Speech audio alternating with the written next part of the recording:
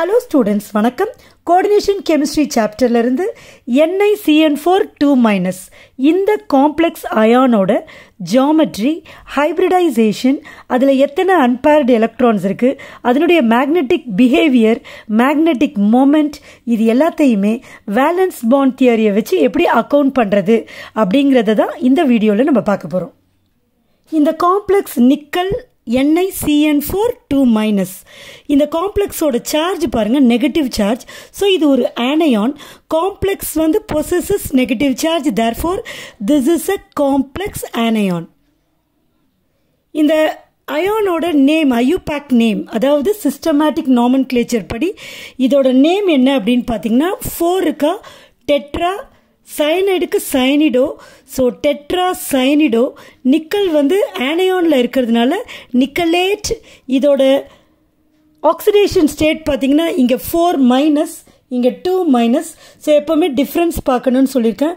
ஃபோருக்கும் டூக்கும் difference two so nickelate two so central metal atom யார்? Nickel ion nickel ion because இது ஃபோருக்கும் டூக்கும் difference கண்டுபிடிக்கிறப்ப two plus so nickel ion N I two plus ion right நிக்கலோட outer electronic configuration பார்த்தீங்கன்னா three D eight four S two okay but இங்கே nickel எப்படி இருக்குது NI two ப்ளஸ்ஸாக இருக்குது அப்போ டூ எலக்ட்ரான்ஸ் நம்ம ரிமூவ் பண்ணிடணும்.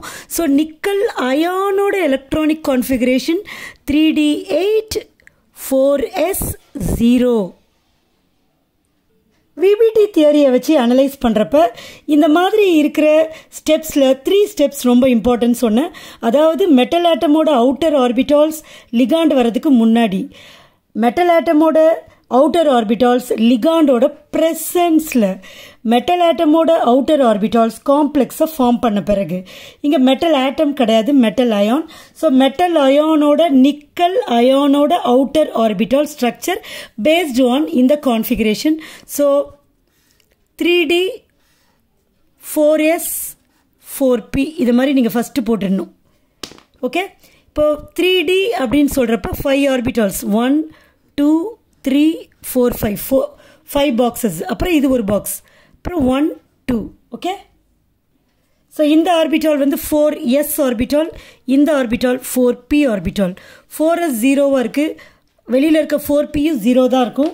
த்ரீ டியில் எயிட் எலக்ட்ரான்ஸ் இருக்குது ஸோ ஒன்னா ஒன் ஒன்னா அதை ஃபில் பண்ணலாம்.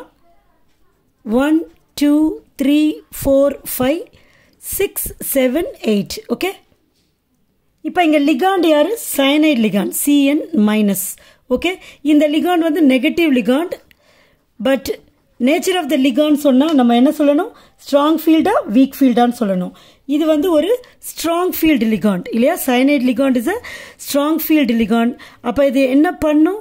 த்ரீ டி ஆர்பிட்டாலில் இருக்கிற எலக்ட்ரான்ஸை பேர் பண்ணும். So it pairs up three D electrons okay இப்போ லிகாண்ட் அப்ரோச் ஆகுது. அவுட்டர் ஆர்பிட்டால் எப்படி இருக்குன்னு பார்ப்போம். ஸோ அந்த த்ரீ டி ஆர்பிட்டால் அப்படியே இருக்கும். ஃபோர் எஸ் ஆர்பிட்டாலும் இருக்கும். ஃபோர் பி ஆர்பிட்டாலும் இருக்கும். ரைட் இப்போது இது ஸ்ட்ராங் ஃபீல்டு லிகாண்டுன்ற இருக்கிறது இருக்கிறதுனால இந்த த்ரீ டி ஆர்பிட்டால்ஸில் இருக்கிற எலக்ட்ரான்ஸை பேர் பண்ணிடும். ஸோ நீங்கள் அங்கே என்ன பார்க்கணும்? தனியாக ஏதாவது எலக்ட்ரான்ஸ் அன்பேர் எலக்ட்ரான் இருக்கா? அப்படி இருந்துச்சுன்னா அதை பேரப் பண்ணணும்.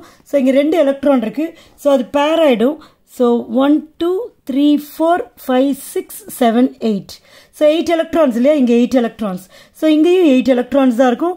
இங்கே இந்த ப்ரெசன்ஸ் ஆஃப் லிகாண்ட் பேர் ஆகிடும் அவ்வளோதான் வித்தியாசம். இப்போ லிகான்ஸ் வந்து அப்ரோச் பண்ணுது. அப்போ பார்த்தீங்கன்னா இந்த அவுட்டர் ஆர்பிட்டால்ஸில் வேக்கண்ட் ஆர்பிட்டால்ஸ் பாருங்கள் one two three four five இருக்குது பட் எத்தனை லிகான்ஸ் வருது? நாலு லிகான் தான் வருது. ஸோ நாலு வேக்கண்ட் ஆர்பிட்டால்ஸ் இருந்தாலே போதும். ஸோ இந்த நாலு வேக்கண்ட் ஆர்பிட்டால்ஸை சென்ட்ரல் மெட்டல் அயான் ரெடியாக வச்சுட்டு லிகான் கூட பாண்ட் பண்ணுறதுக்காக காத்துக்கிட்டு இருக்கோம். ஓகே பட் பாண்ட் பண்ணணும்னா அங்கே ஓவர்லாப்பிங் நடக்கணும். அதாவது filled orbitals of the ligand will overlap with the vacant orbitals of the metal but அப்போ ஓவர்லாப் ஆகணும்னா ஓவர்லாப்பிங் எஃபெக்டிவாக இருக்கணும்னா இங்கே இருக்கக்கூடிய வேக்கண்ட் ஆர்பிட்டால்ஸ் சேம் எனர்ஜியாக இருக்கணும்.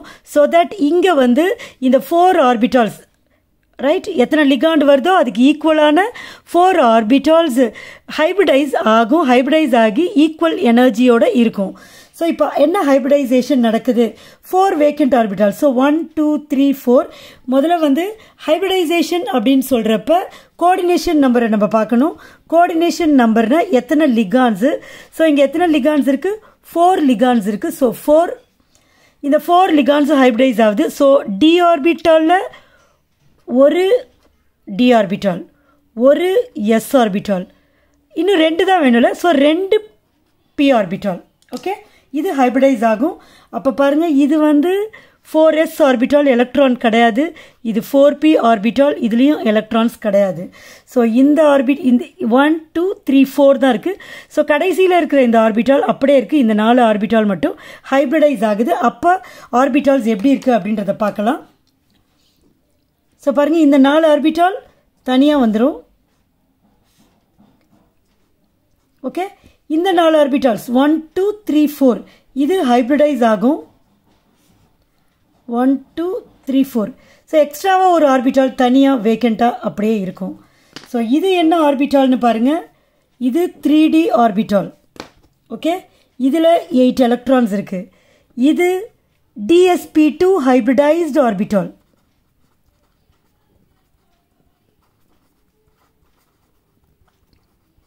இது ஃபோர் பி இசட் ஆர்பிட்டல் இப்போது ஆல்ரெடி இருக்கிற எயிட் எலக்ட்ரான்ஸ் அப்படியே இருக்கும். One two three four five six seven eight okay இப்போ ஃபோர் சைனைட் லிகான்ஸ் வருது இல்லையா?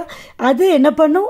இந்த வேக்கண்ட் ஆர்பிட்டால்ஸ் கூட அந்த எலக்ட்ரான்ஸை கொடுத்துட்டு ஓவர்லேப் ஆகும். அப்போ அது கொடுக்குற எலக்ட்ரான்ஸை one two three four five six seven eight four ligands ஒரு லிகாண்டுக்கு டூ எலக்ட்ரான் அப்போ எயிட் எலக்ட்ரான்ஸ் இது அப்படியே வேக்கண்ட்டாக இருக்கும்.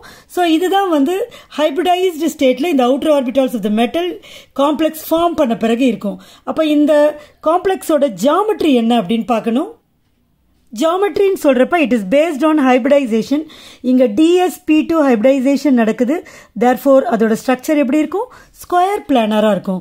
So geometry of this complex ions square planar இப்போ மேக்னெட்டிக் ப்ராப்பர்ட்டி பார்க்கணும். எப்போவுமே மேக்னெட்டிக் ப்ராப்பர்ட்டி பார்க்கணுன்னா you have to see for unpaired electrons இப்போ இதில் பாருங்கள் எங்கேயாவது அன்பேர்டு எலக்ட்ரான் ஒத்தையாக தனியாக எங்கேயாவது இருக்கா பாருங்கள் there is no unpaired electrons so number of unpaired electrons இது வந்து ஜீரோ அப்போது இந்த காம்ப்ளெக்ஸ் என்ன மாதிரியான complex it is a diamagnetic complex okay and magnetic moment என்ன அப்படின்னு பார்த்தீங்கன்னா அதுக்கு ஃபார்முலா இருக்குது spin only magnetic moment spin only moment root of n into n plus two இங்கே எண்ணுக்கு பதிலாக நம்ம வந்து நம்பர் ஆஃப் அன்பேர்ட் எலக்ட்ரான்ஸ் என்னென்ன number of unpaired electrons so zero this is equal to zero into zero plus two which is also equal to zero so since the complex is diamagnetic அதோட magnetic moment will be zero okay so இந்த topic உங்களுக்கு நல்லா புரிஞ்சிருக்கும்னு நினைக்கிறேன். Electronic configuration மட்டும் தெரிஞ்சால் போதும். இது அத்தனையும் டீட்டெயில்டாக நம்ம ஈஸியாக எக்ஸ்பிளைன் பண்ணலாம். Hope you understand this topic thank you